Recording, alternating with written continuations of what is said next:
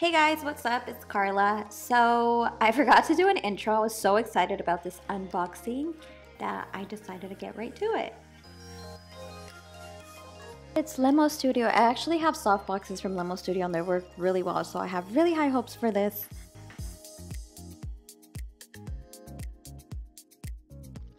It comes with a little manual, but I promise you won't even need it after this video. It's super simple. It's gonna come with two tripods. You wanna go ahead and unlock it, pull down the legs,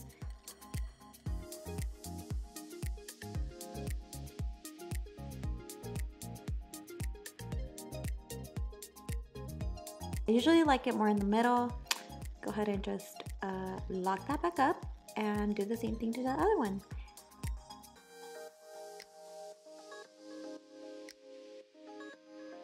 Before I forget, don't forget to subscribe if you haven't yet.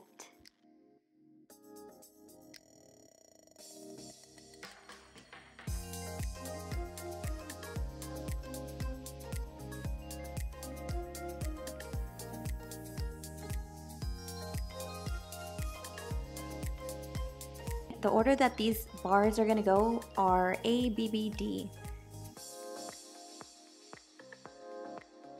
So go ahead and put A onto B, B onto B, and B onto D. This is gonna be really long by the way, so if you have like a smaller paper, you really don't need to put all four of them.